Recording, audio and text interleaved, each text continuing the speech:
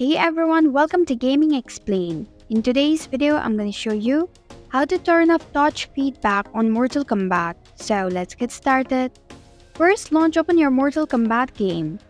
Once you're on the game, tap on the settings option which is at the bottom left of your screen.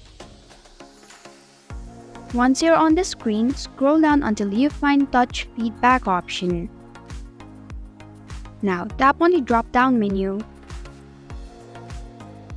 To turn off touch feedback on Mortal Kombat, tap on the off option.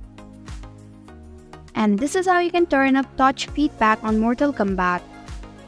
Thanks for watching Gaming Explain. If you like this video, hit the like button and drop a comment with any questions or feedback. If you're new, subscribe and click the bell icon to stay updated on the future videos.